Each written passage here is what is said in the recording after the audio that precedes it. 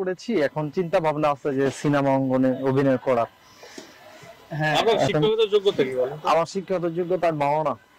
মাওলানা বলতে মানে হ্যাপসখানায় পড়েছিলাম। ছেলের ভিতরে একটা স্বপ্ন ছিল যে আমি বড় বক্তা হব। তখন আর কি বড় বক্তা হলাম ওয়াজ মাহফিলে ওয়াজ করলাম। লক্ষ লক্ষ জনতা আহ, আসতো আমার মাহফিলে। আপনি ইউটিউবে সার্চ করলে পাবেন মাওলানা ফারুক আল আজমি লেখলে অসংখ্য আমার ওয়াজ আছে সেখানে হাজার হাজার জনতা। তো পরবর্তীতে ভাবলাম যে এই তো সিনেমা টিনেমা করি। কষ্ট অনেক করলাম এখন সিনেমা করি যে কেমন হয় বা কি আসে আচ্ছা, তার মানে আপনি কি স্বীকার করবেন যে আপনি কত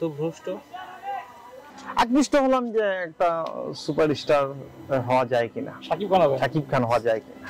আমার যেমন তাদের এই ঈদে মনে হয় রাজকুমার একটা রিলিজ হয়েছে। তো আমার যদি সামনে মনে করেন আরও অন্য কোন কুমার যদি রিলিজ করা যায় তাহলে একটা আলোড়ন হবে না? আপনি কীভাবে বুঝলেন যে আপনাকে দিয়ে সিনেমা তৈরি করবে? কত বছর ধরে নামাজ পড়াইছেন মসজিদ মাদ্রাসা এবং ওয়াজ করছেন? বলেন তো আগে এটা শুনি। আপনার নামাজ হবে প্রায় পাঁচ বছর হ্যাঁ। ইমামতি করেছি। ভাই আমরা একটু আপনার ক্যাপটা খুলে দেখতে চাই। না ভাই এটা খোলা যাবে না ভাই। একটু ক্যাপটা খুলে না ভাই ভাই।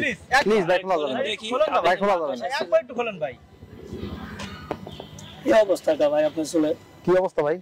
মানে আপনি আগে হুজুর ছিলেন। হ্যাঁ। মানে ওয়াজ মাহফিলে আপনার অনেক ওয়াজ দেখছি।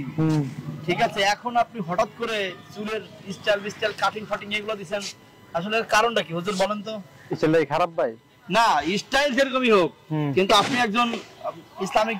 বক্তা আপনার ওয়াজ শুনে অনেক মানুষ হেদায়তের পথে আসে। আর আপনি আজকে টিকটক মার্কা চুল কাটে একবারে অন্যরকম ফ্যাশন দিয়ে জিন্স প্যান্ট আর শার্ট পরে আপনি মানে ঢাকার